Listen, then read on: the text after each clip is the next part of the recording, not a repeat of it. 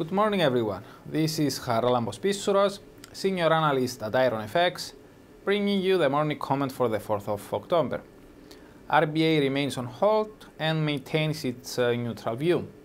The Reserve Bank of Australia held its uh, policy unchanged today, as was widely expected. The statement accompanying the decision, the first one written by the new governor, maintained an overall balanced tone with regards to policy, offering no clear signals on uh, the likelihood of, or timing for further easing. With regards to Aussie, officials tried to jawbone the currency once again by reiterating that an appreciating exchange rate can complicate necessary economic adjustments. However, the reaction in Aussie dollar remained somewhat limited on the news, perhaps due to the lack of any new information. Moving forward, we believe that the biggest uh, determinant of whether the RBA eases again in the near term will be the quarter three inflation data due out on the 26th of October. Elsewhere, the Japanese uh, yen came under renewed uh, selling interest during the Asian session Tuesday, with a couple of factors seen as possible catalysts for the move.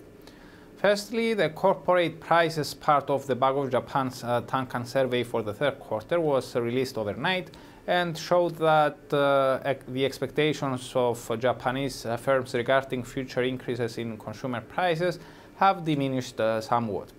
This su suggests uh, subdued inflation expectations and consequently raises the likelihood that the Bank of Japan may act at one of its upcoming meetings.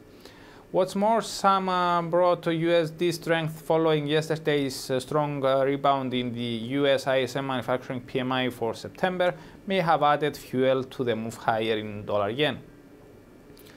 As for today, during the European day, we get the UK construction PMI for September.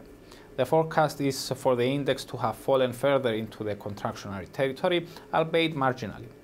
Nonetheless, the nation's manufacturing PMI for the month uh, surprisingly surged, beating ex expectations for a fall. In our view, this increases the likelihood uh, that the construction index may surprise to the upside as well. Although this could support the pound temporarily, we remain bearish on uh, the currency, especially after cable dipped below the critical 128.50 barrier. We have only one speaker uh, scheduled for today, Richmond uh, Fed President Jeffrey Lacker. For more information, including technical analysis, please read the full comment on ironfx.com or download our app and get all the information you need to trade. Also, you can follow us on Twitter, like us on Facebook, subscribe to our YouTube channel, or circle us on Google Plus to get more trading ideas.